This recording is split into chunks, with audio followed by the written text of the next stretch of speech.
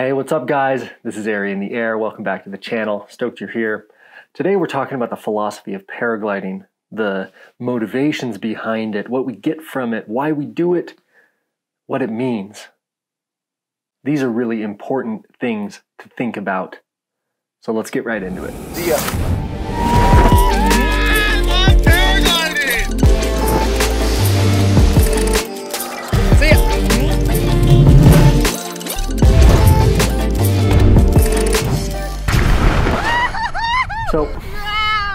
most of us know, paragliding is one of the most surreal, incredible things that a person can do.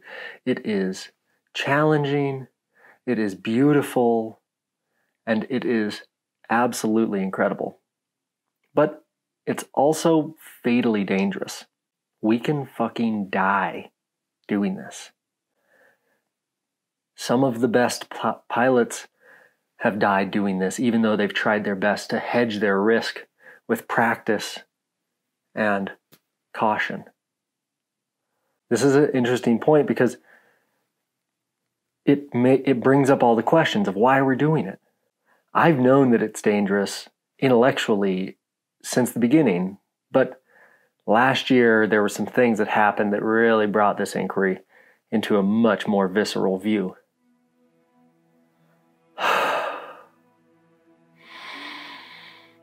Wasn't even a year ago that at my local flying site here in Oregon, that a visiting pilot showed up and on launch he crashed.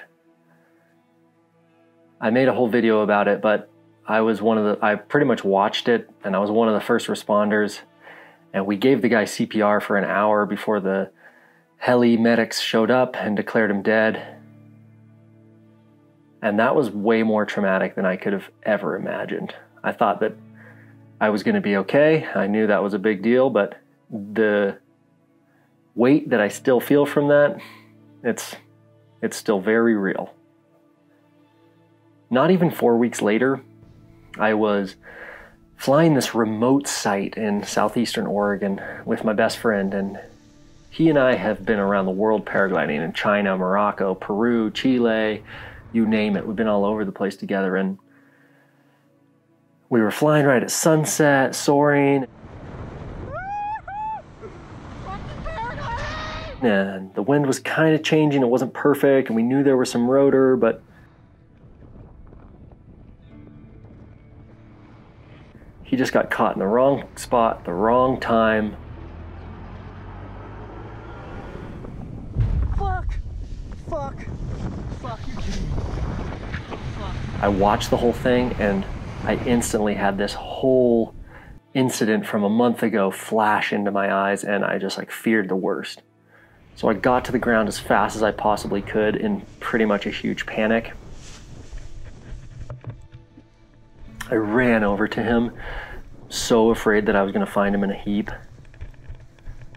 And when I got to him, he was coherent and he was telling me that he was surprised, but he was relatively okay and he was relatively okay for what you know could have possibly happened but he had broken his one ankle and the bottom of his leg.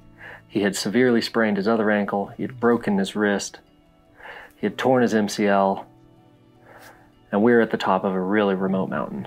So luckily our girlfriends came up and they got our glider packs and they hiked our glider packs down.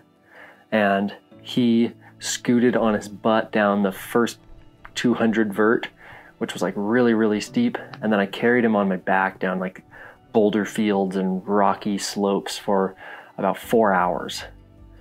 When we got to the truck, we were relieved, but it wasn't over yet because the next day we had to go to the hospital and it started a series of medical procedures that Chris had surgeries and he's still recovering to this day. So these events really brought into question, into the forefront of my mind, my entire flying career. Because after all, like I've almost killed myself paragliding a number of times. I've crashed, I've thrown my reserve, I've found myself in shitty positions that I didn't, that I shouldn't have been in. I've shown off, I've done all kinds of things that are stupid and that can lead to my untimely demise under a paraglider, of which I don't really want, right? I don't want to die paragliding. These questions that it brought up for me, if I distill them down, they sound like why am I doing this? What am I getting from paragliding? What can I do to keep myself safe and to keep this whole thing sustainable? And ultimately, if I die paragliding, what does that mean? These are huge questions. And I see this as the growth that paragliding is trying to bring into my life. It's the growth that I'm being called into as a pilot and as a man. I'm being called to look really deeply at myself, my behaviors, my motivations, my desires, my character, my thoughts and feelings, and the whole thing. The whole thing is coming into question. So, these kinds of questions have been answered by philosophy for thousands of years. And so, I feel like I'm being called into the philosophy of paragliding. And I want to create these videos in a way that is honest and transparent and vulnerable. And I want to invite you into my inquiry and share my inquiry with you in the hopes that together we can transform our flying so that we get the most meaning, the most value, the most joy, the most lessons, learning, growth, connection, love, the most experience, the most fulfillment out of this sport as is humanly possible. Because for the level of risk, we have to justify it with the with an equal amount of learning, of growth, of perspective. And I think that the philosophy of paragliding is how we do that.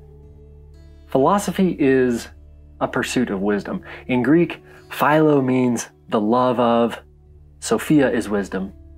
Philosophy is the love of wisdom, and I think that if we bring the love of wisdom into paragliding, then it can help transform our perspectives about flying and about our motivations into the most sustainable form possible. I think this is a really important thing to ruminate on, and that's why I want to bring this kind of inquiry to you guys here. Because the reality is that I don't really want to be an adrenaline junkie just chasing my next high. I want to be a humble part of a complex system that gets to observe and revere what is possible, what is happening, what is real, what's happening inside of me, all of these things. I really want to be an observer and a participant and not just chasing my tail endlessly, not being so hungry all the time that I'm insatiable, that I just end up chasing and chasing and chasing and chasing until at some point some part of the system breaks and I have some huge accident, right? I don't want that. I can't eliminate entirely the possibility that accidents happen and that as a human I'm errant.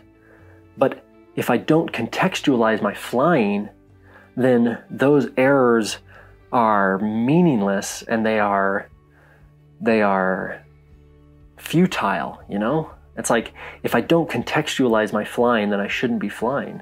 If I'm not getting any meaning out of paragliding, then why risk my life? But if I am to use paragliding as a practice builds me up and fills me up and helps me grow up into new levels of manhood, into new levels of personhood, then I think I can justify the risk. So that's what I'm doing here. That's what I'm that's what I want for myself. That's what I want for you. Cuz my best moments flying are those moments where it's like I dissolve into the sky and it's like I just kind of become one with my glider and I become one with the sky and I just let everything go and just I just get to be in touch with reality. I get to be in touch with what is. Right? And it's like I just get to be the humble part of the complex system, right? It's like I get to be the astronaut sitting in the seat of the rocket ship, you know? I just get to watch it all and I get to enjoy it. The things that I want to really address here in the philosophy of paragliding series is how to best contextualize my flying, how to best contextualize my paragliding for maximum sustainability, for joy, for growth, for connection, for learning, for meaning. I also know that I need to develop ways that I can better integrate my experiences so that it actually fill me up and they become a part of me so that I'm not just insatiably starving and hungry for the next thrill. I have to develop a way that I take these surreal experiences and I create meaning out of them and I integrate that meaning into myself. And also, how can I support my friends, my fellow pilots, the paragliding community and culture at large so that I can encourage them to use paragliding as a practice for development, for growth, for introspection, for meaning, so that we can take these experiences, these learnings that we have in flying, and we can take them out into our relationships, into the world, so that we can be better people, so that we can support the world better as paraglide pilots. Seriously. I don't know what this is going to look like, but I know that it's important for me to consider. So, welcome to the philosophy of paragliding. I don't know what the path is, but here, let's start walking, all right? I hope this is helpful. I hope this is something that you want to dive deep on with me. So, share this video with your friends, your paraglide pilots who want to think deep, who want to get the most out of flying that's possible, and who don't want to just insatiably chase after the next thrill, after thrill, after thrill. I'm glad you guys are here. Subscribe to the channel. Put any questions you have in the comments below. I try to answer them all. Looking forward to seeing you on the next episode. Peace.